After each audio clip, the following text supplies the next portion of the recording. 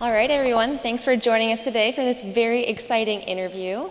As we know, Ayn Rand is one of the most influential philosophers of the 20th century and one of the most widely misunderstood.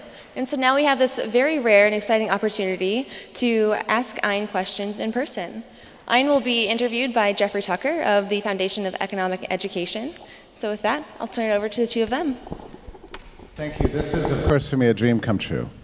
Uh, since high school, I've been reading uh, Miss Rand's work. Uh, how many of you in this room uh, know about Ayn Rand and her work? So, a large number. So, she's, in, the, in many ways, the most influential philosopher of the 20th century. She's sitting here with me. Uh, this is my second time to interview her. You can imagine the first time I, I interviewed her, I was very nervous. And I'm very surprised that she has invited me back. So, welcome, Ms. Rand. Thank you for joining us. Thank today. you very much, Jeffrey. You did a good job the first time, too, I must say. well, this time my questions may be harder. Um, now, listen, you are legendary, obviously. Sometimes I wonder if you're legendary for, for not the right reasons. When I think about your life and everything that you went through, it's amazing that you arrived at where you, where you are. You were born in a small town in Russia, and yet you became the biggest selling English, English language novelist of the 20th century. Has your book ever been translated back into Russian? Do you know? It is translated into every language. Has anybody here read it into Russian? No, I don't have that copy right now. I have in Polish, but not in the Russian. I see. Um, so, so, and how many languages? 20? That's right. That's remarkable. So I wonder if, if as a way of discerning uh, the, what I consider the heroism of your life, if we could start at the beginning. You're born in a small town in Russia. Well, St. Petersburg, not so small. And later changed its name to Stalingrad, I think, right? Pet Petrograd. Petrograd, yeah. So, and, and this was in 1905. That's right. And the Russian Revolution occurred something like eight years later. Twelve.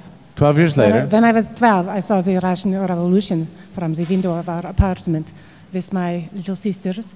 And uh, my, my parents, Anna and Zinovi, on the pharmacy. And then the soldiers came. This was home sharing in the Soviet Union. They said, Oh, you have some home here, and there can be some other people that could be living there as well. So they took our home. They, they said, The other people who used to work for you will now be living with you. Uh, and that also they would take over my father's pharmacy and all of our money. So it was a very difficult time. I remember, I was there, I was there. This was day. your childhood to see the communists take your, your, your family's home and, and business. I was in the store, in the pharmacy with my father when the, the soldiers came in with guns and they, they said that they are taking the store. And this made me so angry. And this definitely shaped the way I would view the world. And why were they taking it? Oh, not for themselves, right? No, not because they were selfish. Oh, they were taking it for the people. They were taking it for others. And I could see then that this was a pattern. It wasn't for the others, this was for their own power hungry purposes.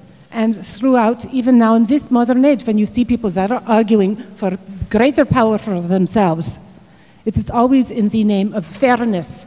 Always they are doing this for others. And that is why one has to be embracing selfishness, embracing one's own right to live their lives as they see fit. And you did this at some point in your life. I think you were a late teenager. You, you decided to leave Russia for an uncertain future. Um, and you kind of, am I right, uh, tricked the authorities in some way. You said you had to go abroad to study film. Is this what happened? This is very close to what happened, but I will make one correction, Jeffrey. Is when you say that I was living life for an uncertain future. I was living a very certain future in Russia that I knew for me would be death. Okay? So, yes, And even though after the Soviets came, there still was cinema. I was still going to the movies all the time. I would see 127 movies, and I could see that there was an opportunity for a better world abroad. And I knew that I was a writer. I was writing from the time that I was eight. I was writing my first plays, and then when I was 12, I was writing my first books. So I knew this is what I wanted to do. And we had one chance, one chance, where they had visas for you to go abroad. If we had waited even one year later, I never would have escaped. There's other reasons I might have not come here, but we had an opportunity to go abroad, and my cousins, my, my cousins in Chicago, that they had left Russia because, as you know, in Russia for many, many years, terrible, terrible anti Semitism, pogroms against the Jewish people, they had left. And my parents had given them some money to help them escape five, five years earlier. So when we wrote to them and asked if they would sponsor me, they felt an obligation, a family obligation, and so uh, they said, of course. And I came, and I did have to say, I would come back I was not um, betraying the country, my fellow people. Of course, I would never leave for myself. I had to say that I was going abroad to learn from the capitalists so I could come back and make better propaganda for the people. Um, and even then, it was hard. The Americans were also not so welcoming for me and, and wanted to make sure that I would go back. Do you remember, you said you watched, as a little girl, you would watch movies in Russia. They were American movies? Sometimes they would take different parts and yeah. they would use some and but, they would try to make it but, like. But only, only silent movies, right? In those days, people didn't talk in movies. You only saw the silent movies. That's right. Not like today when everybody is talking in the movies. It's very annoying with their cell phones and everything else. But right. no, it, it was but, silent movies, and the movies were simplified, very stylized in terms of their plots and their morals and so when I came here, I, I, started out reading scripts. Even though my English was not very good, I came here, I could speak no English, very little English. But I could recognize a good movie, I could recognize a dramatic plot. And so I was able to get a job. But you went to, you went to Chicago. Now, let's just understand in the United States, in 19, this would have been 1925 when you came? Uh, that's right. Yeah. So in 1924, the United States passed a series of restrictive laws on immigration that particularly uh, applied to three groups um, Southern Italians, Slavs, so called, and the Jews. We did not want Jews in the United States, so we, we, we excluded Jews. But you, ca you came in anyway. Was, was that difficult? Uh, how were you able to manage that? A young Jewish girl becoming a, basically a refugee in the United States? Well, I have to admit that I did defraud the authorities just a little bit, and I do have views about that. That when you are being asked to sacrifice yourself, that this is, would be immoral. So I told them that I had a fiance in the Soviet Union, and so that, of course, I could not leave him and I, that I would come back. This is wonderful. This is good. It's always a good thing to, to, to lie to authorities, and when you have to. Uh, but so when you went to Chicago, though, you weren't happy there. Uh, you were living with your family, but I would think that you, having left Russia, would be just happy to have some home. I mean, Chicago, they were taking care of you. You only stayed a few months. Why did you leave? Well, in retrospect, perhaps I could have been a little more grateful and gracious. I'm just saying, okay? But also, for many, many years in, in Russia, I was every, all these stories, all of this energy, all of these things that I wanted to write, I was holding them inside, okay? Even my diaries that I had in the Soviet Union, all the ideas I put in that, I burned my diary because I knew that the ideas that I was writing there would endanger me and endanger my family. So for all of these years, now I was 21. Since I was eight, I had all these ideas. So when I came and I was in Chicago, I would not stop writing. I was a writing machine and around the clock. And so my, my family there they got tired from the typewriter all the time. And so they were not unhappy when I, when I wanted to leave. And also, I wanted more of the Americas that I saw in the movies, and it was not there in this very insular ethnic community in, in Chicago. When, when actually did you change your name? Uh, was this in Chicago after you came to the United States, or was it once you, you left for Hollywood? It was when I left, yes, because I, I would publish under my own name, but my name uh, on the uh, passport was Alice Rosenbaum. Yes. My birth name was Alisa, but my, my passport was Alice. I, I think Ayn Rand is an improvement on Alisa Rosenbaum. Thank you very much. I liked it too myself. It's kind of catchy, you know, Ayn Rand. where did you, where did you get the name? Where did you get the name? So the name Rand was from my typewriter, which I was very much in love with. It was the brand of the typewriter. Yes. And Ayn was a character, a hero from uh, a fairy tale that I, I, thought was heroic. It was, I think, a Finnish, Finnish fairy tale. It was beautiful. A flair for the drama. So you arrived in Hollywood, and Hollywood in something like 1926, right? So they're still making silent movies, and so you began to write scripts. And, and, and let me say, too, that I don't entirely understand how this happens. That a, a, a a poor, a barely uh, English speaking uh, young woman could arrive in, in Hollywood and make a career so quickly. Uh, how did you do this? I mean, obviously, it's, it's my incredible good looks and sex appeal. It was irresistible, so I had no trouble getting any jobs. No, it was, um, I think, a time of kind of wild west okay? And there still was opportunity. And also, I would take any job I could take. I mean, seamstress. My people came here for many decades. Okay, I will, I will sew, I will do this. I worked in the costume department. But I have to say, I was very, very smart, and people recognize this. And also, I did have the opportunity to meet with Cecil B. DeMille. And this was sort of by chance, but not really. I knew where he was driving in, and I put myself there. And I was looking at him like this, like I'm looking at you right now. And he said, Okay, young lady, what are you looking at? Maybe you'd like a ride. And so when he was talking to me, he says, This is a very unusual individual, and I will give her a chance. Why not? This is the biggest Hollywood director at the time. Um, he had uh, done the big epic, epic things, and, and you, you caught his eye and, and asked for a job. I did. And he, he gave me one. And so for, for many years, I was, I was reading the scripts. Okay, I was looking at the scripts, and I was able to tell, even with my English not so good, what is a good script, what has flair, where is the epic adventure, where is the romance, how do you make a triangulation with the love partners. I, I always had the authors that I liked in my mind, like Victor Hugo. Yes.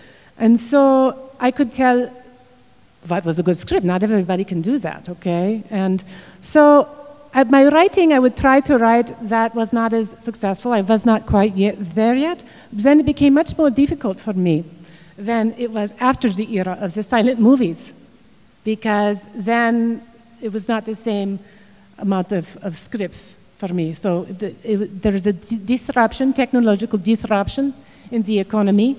And so for many years, well, not so many years, but it was, it was difficult. But fortunately, I also was able to play extras on the films, and that's how I met my husband. Yes, and you were a very young girl when you, when you married him, and uh, this helped you get your, am I right? This helped you get your American citizenship. Well, that is something that, that happens, but I got my residency after we got married. It wasn't till several years later when I got my full I citizenship. See, I see. And, and during those years, the, the, was the, the, first, the first book you wrote was, uh, which was your first, your first work? It was We Living. We, li we the Living, and which is a story about Russia. The story is the most autobiographical story of my life. And the story of, as I said earlier today, the home sharing.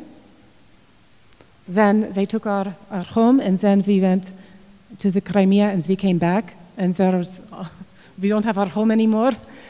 And also that, that I had, from the very beginning, a completely clear vision of what I wanted to do. And that's the same with Kira. And she also fell in love. And she, I think in retrospect, maybe that was not a very good love choice for her, Kira. for Kira. Yeah. And, and uh, she ended, well, you, you have to read the book. I'm not going to tell you how it ended. um, and at some point you decided you had to move to New York because for you, New York represented a kind of high achievement of, of mankind with, with the skyline and the, and the skyscrapers that look like man triumphing over nature, which is a big theme in your work. And you wanted to you wanted to be at the Empire State Building, as I understand. Is this right?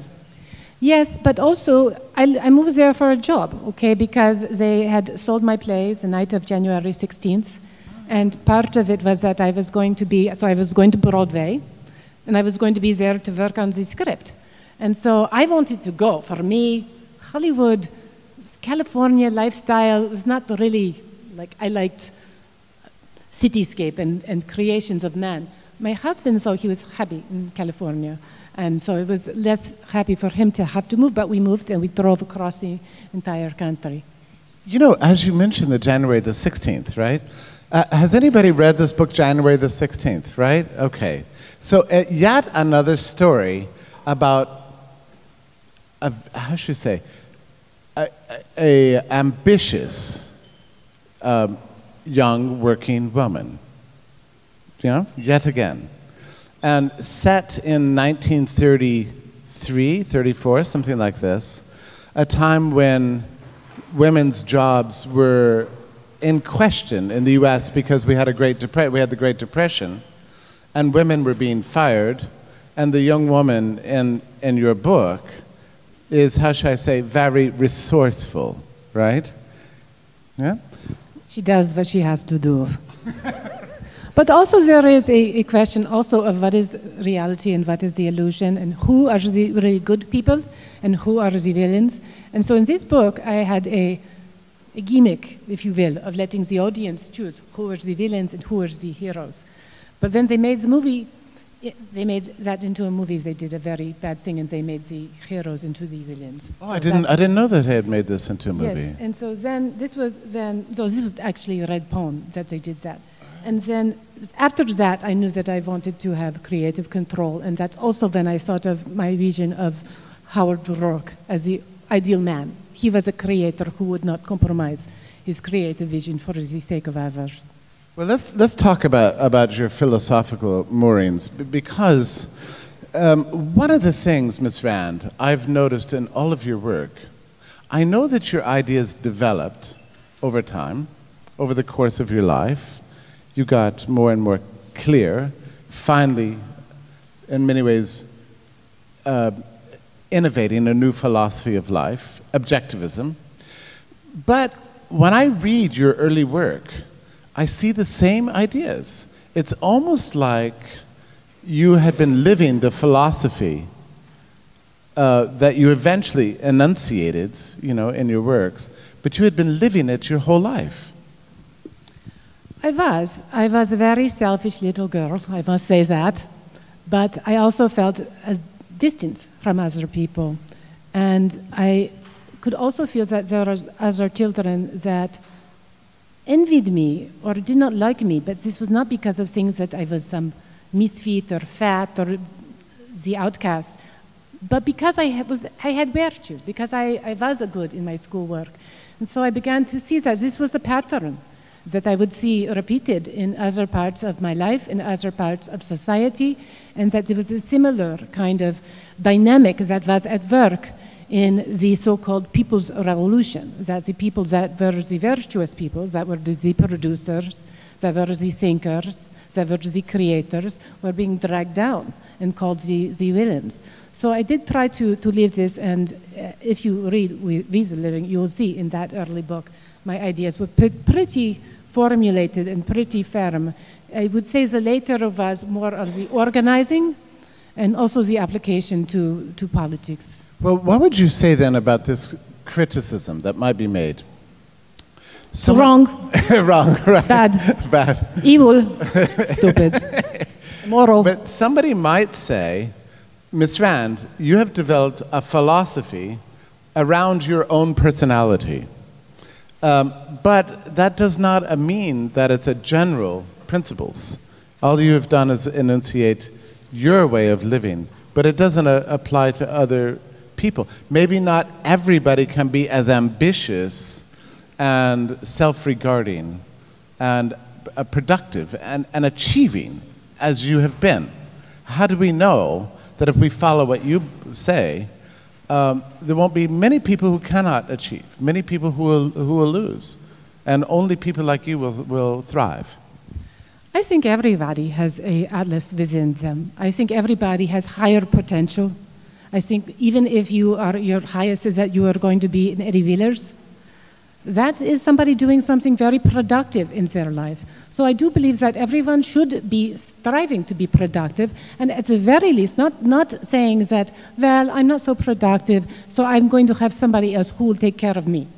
So that is the most important thing. I did sometimes think, as I was growing up, that this philosophy was very much suitable to my personality, but as I grew older, yes, it's not a philosophy for those who want to take advantage of others. It is not a philosophy for losers. It is a philosophy for winners. The only difference is that I believe that everyone has the potential to be a winner. And I think if you are not a winner, the winners must understand this and make sure that they are not being taken advantage of those. Well, and I must say, the beautiful thing about your work is that it does have the effect of transforming the life of uh, many times. People can read your work and come away from it a different person, feel a new, a new passion and love and a new personal power that they didn't feel before. And Miss Rand, I know very well the literature of free enterprise and free markets right? Going back all the way to Adam Smith and before. You're the only writer that has so thoroughly put together the idea of freedom with the inner drive that helps a person live a full life. And I think this is the magic and power of your work. Was this something that you set out to achieve? Yes, absolutely. It was something that I set out to achieve very consciously. And but I would say what you are talking about is, is romanticism.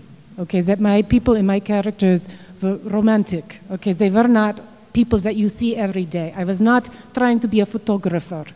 I was not trying to be a realist. I was a, a romantic realist, and I was trying to project a vision not of life as it is, but of people and of life as it could be, and to inspire other people to be more than they are. And I would say that I'm very, very proud of the fact that so many people who have the books are going on to, to create great things in their lives.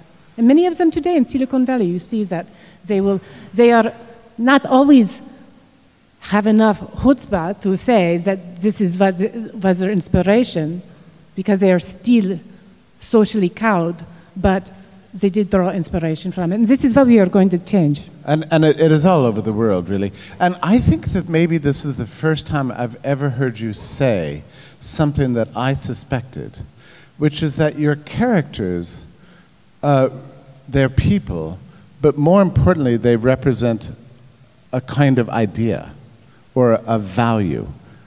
Uh, so you created characters with an, an intention of exploring a certain way of looking at the world and tracing their lives to see whether or not it was successful and how they treated others and themselves. Is this right?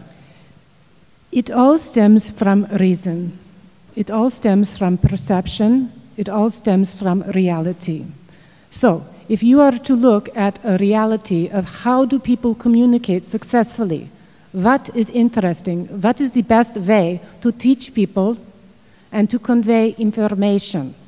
You can do this in a dictionary, you can do this in a lecture, but how have we always communicated? We have communicated, we are interested in people, we are interested in stories.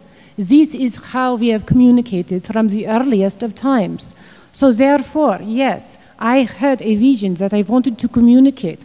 I had a thing that I wanted to warn people that this collectivism, communism at the times, as they were romanticizing, that this was a terrible, terrible danger, a terrible evil that had to be stopped. How would I do this? What was the reality way to do this? It was to create people, characters that would embody the values of reason, of achievement, of productivity. Yes. That's what these characters Which is in many ways an ancient art. This is what, what Virgil did, after all. You know, I, I only discovered Rand initially through her nonfiction works. Uh, that was my introduction.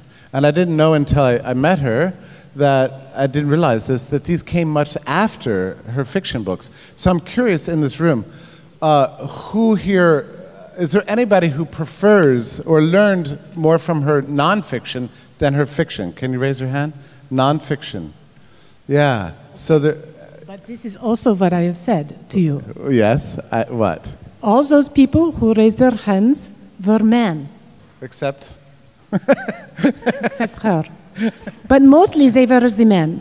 And it is more uh, appealing to the men, the non-fiction is more appealing to the men uh, than it is the women are mostly attract, attracted to my fiction. Mm. And if we want to have a change in society right now, we have to pay special attention to where are the demographics that need to be addressed and changed and converted to our side. And I think this requires a special attention to appealing to women, because otherwise, the left will do it. They will talk about the war on women. They will offer them a paradigm of how men are sexist in all of this. So we have to make sure we are not just simply saying they are wrong. We have to counter that argument with a morality of our own. Uh, and let me just ask you one more question. I know there's so many people in the audience that, that have uh, questions they'd like to ask you. And I should say, as you think about these questions, uh, feel free to ask her anything about her life. There's some aspects of her life that I have not brought up to her because I'm shy. But you might want to ask her. But let me, uh, back on this women point. What do you say about, there are many feminists, people who regard themselves as feminists, who point to you and your characters as their inspiration.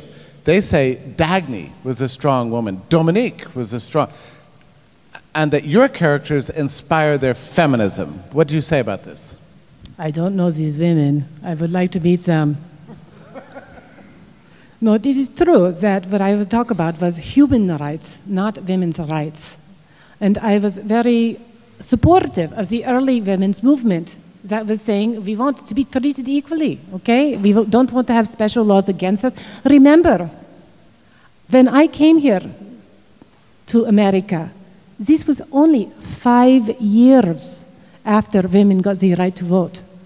Five years before, women could not vote in the United States of America. So I am not blind, okay, to the fact that sexism and these societal injustices existed. But what I did not like was that they, instead of stopping at defending human rights of women, that they began to co-opt into the collectivist narrative that we were victims and that in order to rectify this, that we had to have quotas and government intervention and economic redistribution, that these were going to be how we would cure these ills, and that uh, obviously I'm completely opposed to. Uh, one final issue. On, you, I, I hear you again and again using this word collectivism. You use it as if it's inherently evil or inherently dangerous. Uh, why, why do you think this? Why isn't it possible to have a, a compassionate and humane collectivism? We did have that. That was in Galt's Gulch. So I do not, as some people would say, that I am against the community, but I am for the community of voluntary association and not for the community as enforced by the state. And I am for a community where everyone is able to rise to their highest not a community where we tear down the high to the low, because that the only thing at the end of that road is death. Well, perfect. Um, then I think maybe it's time to open it up uh, to you. Um, maybe if you have a question, you can just raise your hand. Go ahead. Uh, Ms. Rand, it's lovely to see you here, especially looking so much younger than the last time I saw you. Thank you. Whatever health plan your arms working. Lots of fruits and vegetables. And also, I, these, are, these are a little better than the other things I was smoking. Okay, um, uh, my question is about the field of quantum mechanics and uh, wherein particles often seem to behave in ways that don't uh, seem to make sense from a purely rationalist uh, perspective. And I was wondering, does this present a problem for objectivist epistemology, or is it simply a matter of our mathematical uh, models not being advanced enough to explain this problem? So you are talking about uh, advances in physics and being able to uh, quantify or measure what is happening on the most basic level of matter. Is that correct? Were you expecting this question? No, but this is something that has come up, and it does, uh, it does re relate to epistemology, and that we are perceiving reality, and reality is able to be perceived. So uh, I understand where you're coming from, but I also believe that we are not yet there to be able, we are always, even in the past month, be making new observations and new theoretical discoveries of how we, measure reality. But I do think that you bring up a very good point, which is, has an application not just to epistemology, but also to ethics, okay, and also to how we approach objectivism and philosophy in general, which is that we are continuing to expand our context of information and knowledge. So we cannot have a closed system where we say everything that we knew, that's it. We are open to new developments that may challenge certain aspects of the philosophy to be improved. I think, I think, Ms. Rand, you're getting wiser as you get older. Uh, I like you very much. I'm very happy for everything you do for freedom here. But I want to ask you about your relationship with another, this one man who inspired you when I was very young, it's Larry Kudorow. And I would like to know what you think about it from something that you are saying it looks like you don't like being quiet, but I hope it's not so much. I don't know. Do you remember Murray? He was a member of, course. your, your collective for a while. Yes, I know Murray. I, and I know your T-shirt. I have to say, I don't like it. I like this more than this. This is not sufficient. Everyone can see what he's wearing. Anarchists. But I think that uh, many things I like about Murray. Obviously, Murray learned everything he knows from me. I think he would agree with most of that. But uh, he was a little bit of a troublemaker. He was a little bit of a troublemaker, and I think he also made trouble for the libertarian parties in ways that kept them from advancing. So I think he was also a little uh, emotional, a little bit of an emotionalist. He was very young, wasn't he? I think he was in something like maybe his 20s when he was a. And this is in New York. yes, You had your own salon he had his. and, and your own friends. And, and he, he twice. He twice came into your, into your circles. When he read Atlas Shrugged, he wrote you a letter that was something like 10 pages long, in which he said you changed his life completely. But you must have received many such letters. Well, this was special, but I will say, though, that for your question, there's somebody in this room that knows Murray Rothbard way, way better than I ever knew and had much more experience with him. So maybe you can No, no, no, speak to with the relationship Well, I think, I think, I think, let me just say that I think Murray, Jeffrey, Murray. no, I think, well, I think, Jeffrey, but I was Jeffrey. okay, I think Murray maintained his lifelong devotion to your ideas, but the split, personal split with you, and may I say the name Nathaniel Branden in particular, hurt him very much. Yes, and there is a play. Yes, Mozart was Mo- a Mozart red. was a red. Have you heard this play that Jeffrey was in? And this was a play that uh, Murray Rothbard wrote. Wrote, yeah. I, I didn't like it. I didn't read it. I don't know anything about it. I played, I played Nathaniel Branden. You knew Nathaniel Branden. Who? Okay, who else? There we go. So currently there's a lot of people who believe in sort of what Nietzsche would describe as slave morality, that is victim morality. So can we reach out to them or should we just ignore them and escape to, uh, to Galt's Gulch?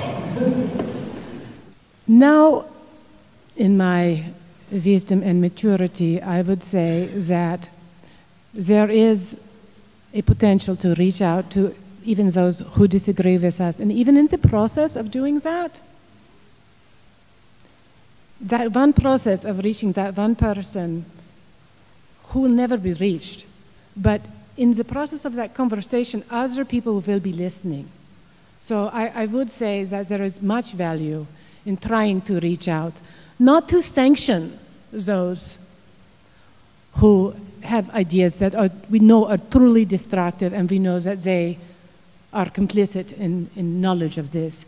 But I would, at this point, always say that reaching out and talking to, to other people is of value and of greater value than I perhaps had estimated. You know, I think about your works and, and the influence you've had, and I really do wonder if how much worse off the world would be if you hadn't done what you have done.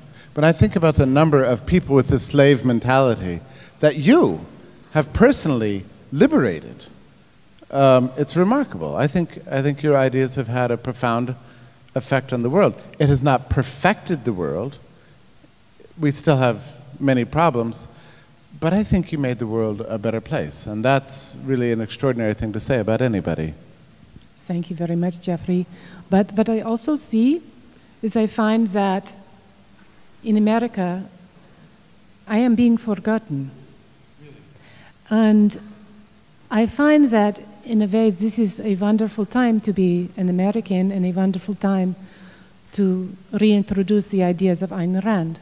Because 10 years ago, I was less forgotten, and to talk about me was to have an argument. To talk about me was to invite insults. To talk about me was to be a victim. Today, I have been so marginalized that people do not know who is Ayn Rand. This is an opportunity to reintroduce not just the literature, but as Jeffrey says, I think for those who have come here, who have felt like an outsider, to reintroduce the story of Ayn Rand, which we did in the Draw My Life, but also to understand why is it that these ideas and that Ayn Rand have become marginalized. And that is something more internal to the intellectual movements that, on one hand, the conservatives, like the William Buckleys, have been more successful in marginalizing me, but also that even people who have been supporters of me, who have used my objectivism, have, I think, some opportunities to be more open in embracing people of other points of view. How many? Oh, yeah, I'll go ahead and take a question. Yes. Miss Rand, very nice uh, to be able to, to talking to you. Um, I have a question. On the one hand, you are fighting for individualism, and on the other hand, you wrote like very specific stuff about so many things. For example, that people should only have sex when they uh, have the same moral standards and so on, not like not only because they like uh, the looks of each other.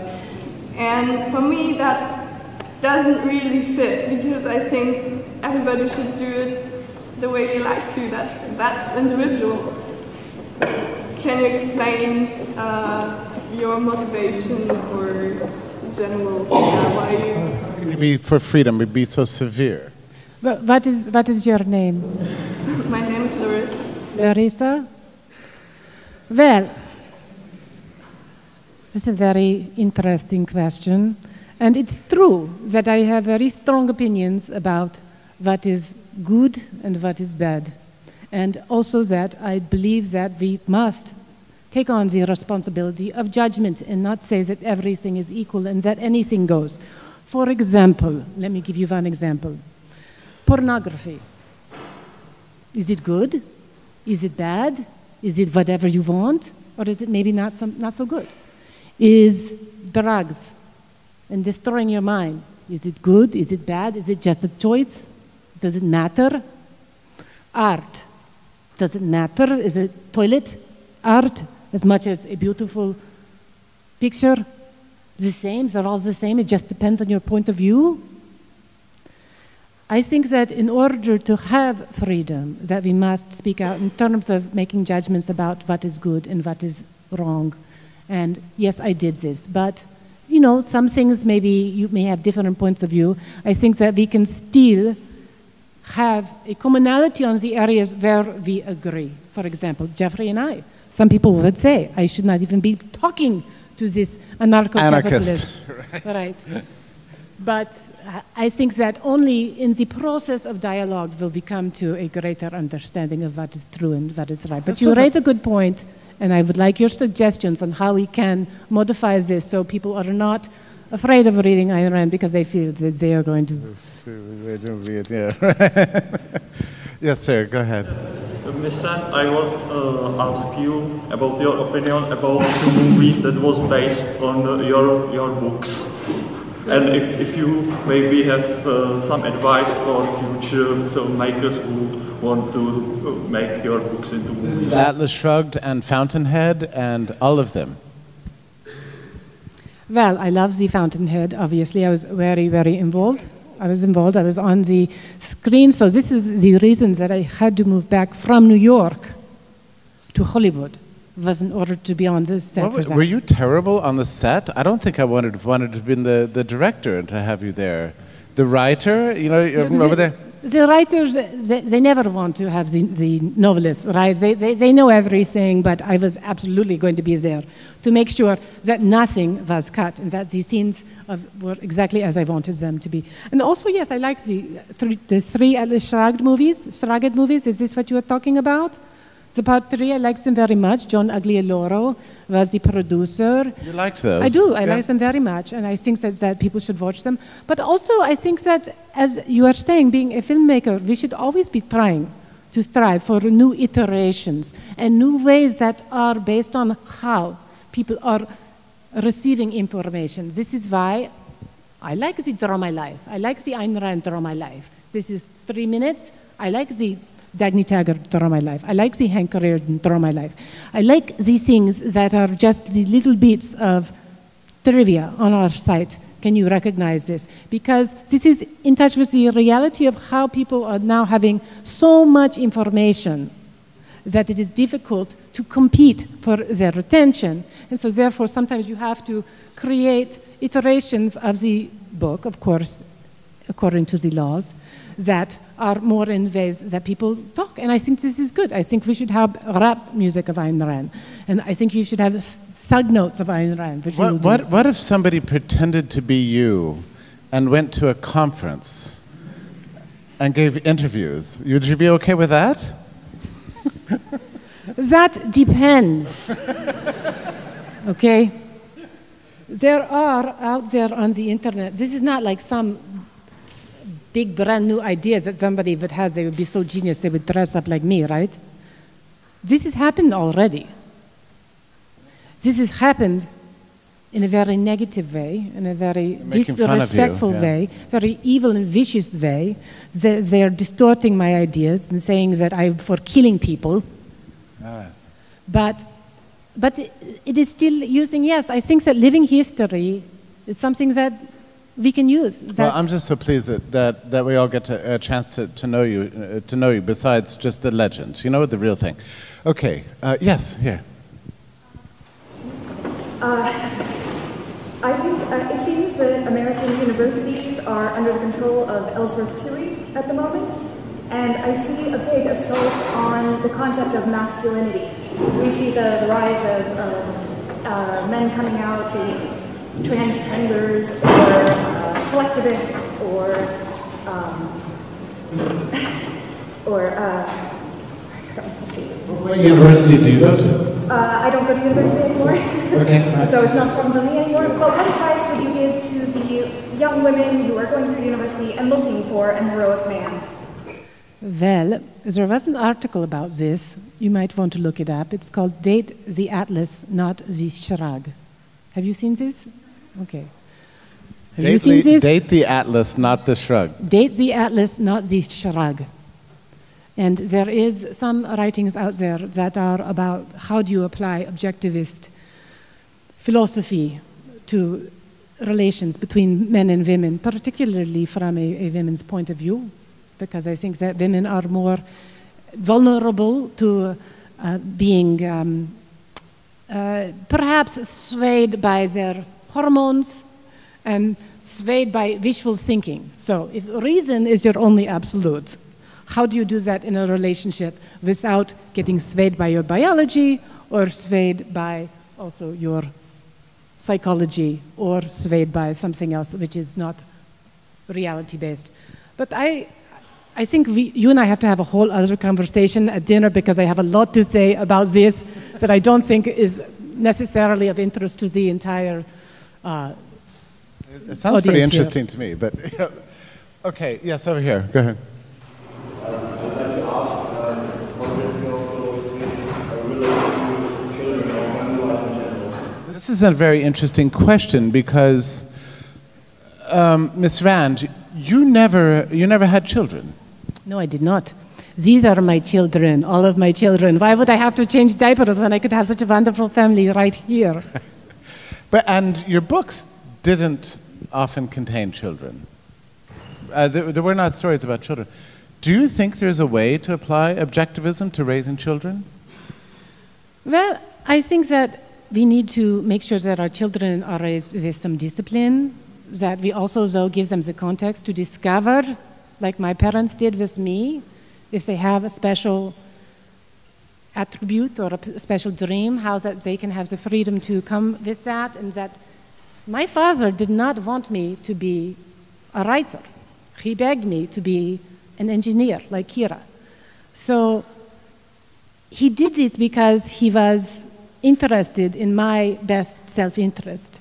But I had an, my own vision of what I wanted to do. And so, in the end, I think that being a good objectivist parent, you need to provide a context, provide a support for your child to follow their dream, but not provide control.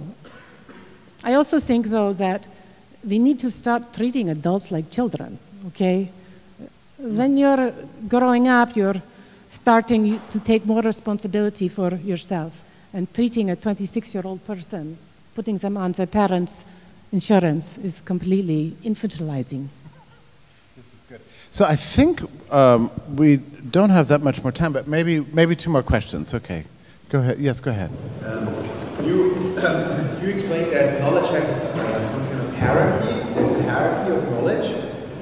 And you emphasize that altruism is evil and we should not argue that capital is good for the poor or capital uh, is good for the environment. Capitalism is good for the environment because thi- this would uh, reinforce altruism and in the end would destroy uh, the, the, the, individualism which capitalism rests on. So how, how do you think if people uh, propagate capitalism by proclaiming good for the, for the environment or for the world or capitalism saves the world, how do you challenge this, this view? That's a very good question. I do think you have to prioritize, just like you have to make a hierarchy of your values and a hierarchy of your knowledge. You have to make a hierarchy of your battles and a hierarchy of what is the most important thing to, do, to address at that time. I think you can challenge the cathedral of the environment and some of these atavistic approaches to environmentalism with reason. And there are people that are doing that very well. Some of my friends at the Ayn Rand Institute have written about uh, the environment in in also at the Atlas Society. But I think that you have to focus also on the fundamentals and on the morality of the creator, and you have to defend his right to his own productivity.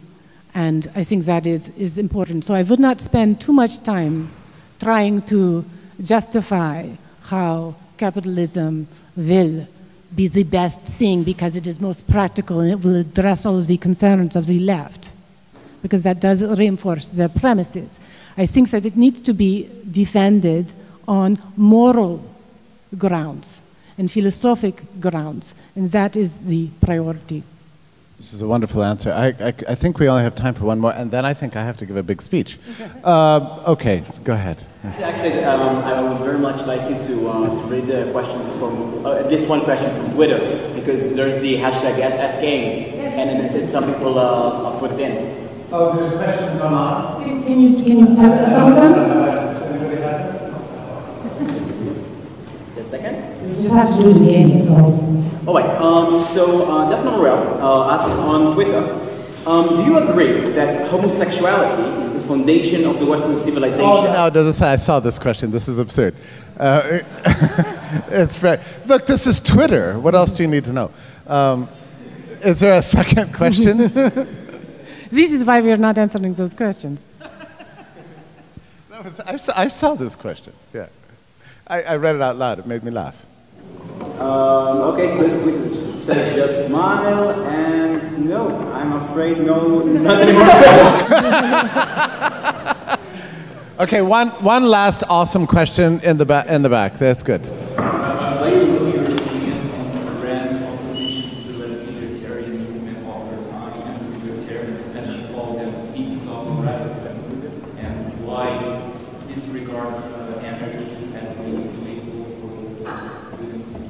this is really two questions. Uh, one about li libertarianism. Why are you so opposed to libertarianism?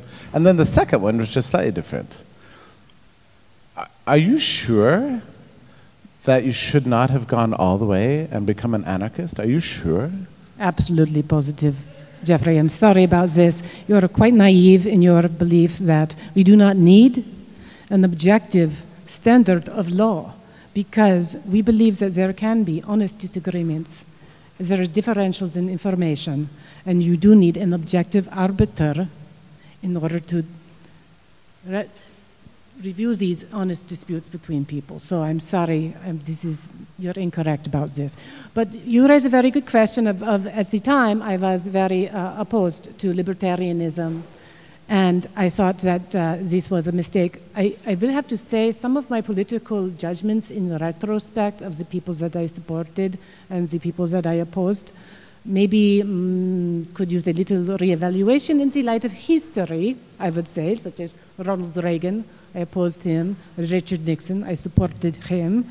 So uh, I believe that there has been a great collaboration between the libertarian movement and the people who are the objectivists. Mm-hmm. And I think it is very sad that there was a division and still remains some division of people that would not talk to libertarians and that even objectivists, I think some of you know who I am talking about, the founder of the Atlas Society, who was ostracized because he talked to libertarians, and this is completely ridiculous.